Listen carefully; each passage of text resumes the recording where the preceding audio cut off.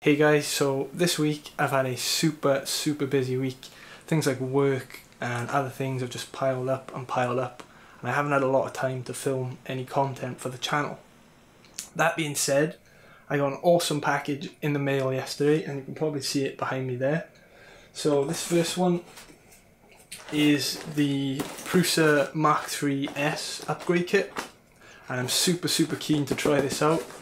And if I'm honest, at first when this came out, I wasn't too keen on it. I didn't really think I would upgrade, but I thought it'd be worth doing just for you guys so I can sort of give my feedback on it and let you know whether I think it's actually worth buying.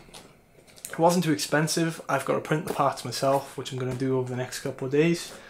But you can definitely expect some videos relating to this over the next week or two.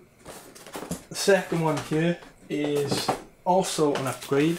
So this is the um, brand new powder coated steel sheet. And again, I've never used this before, but I'm super keen to try it out and compare it to the regular steel sheet. Is it worth it? We don't. I don't know yet, so I'm gonna let you know. Um, but yeah, expect some videos on this too. I might actually do a um, full upgrade video going from the Mark III to the Mark III S. So if you're interested in that, let me know in the comments below. But also, if any of you have upgraded to these already, let me know in the comments what you think. You know, do you think it was worth it? Um, I'd love to know. I love reading the comments and I try to respond to every single one. So please keep leaving some comments.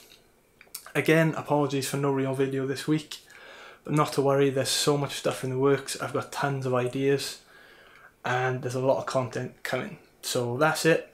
I hope you have an awesome weekend.